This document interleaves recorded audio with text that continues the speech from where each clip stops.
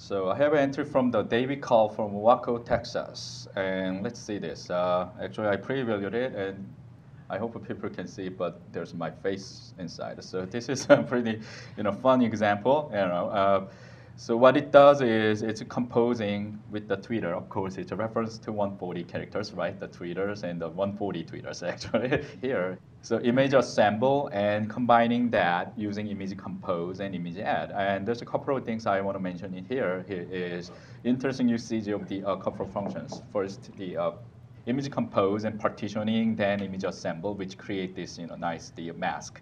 And then another thing is the, how the you know the uh, David uses this mask to actually working as a mask. There's a couple different way to do it, but he chose to use image add, which is a far less character than image compose. You can actually use image compose and the uh, the uh, alpha channel to do do it like you know it's not correct. I mean it's not the uh, right solution, but you know it's it's actually the like textbook solution would be that, but in this case, you can just use image add just because the background color and the foreground color is 0 and 1. You're using just those two colors. So in fact, it actually gives you a masking effect because each values which uh, some different color value will be added as a you know, as a, as a self, whereas the uh, one, which is you know the currently mask, the background, will be just one.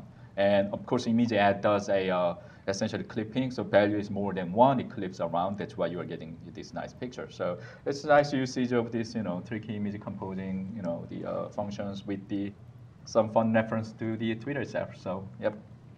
Very nice example.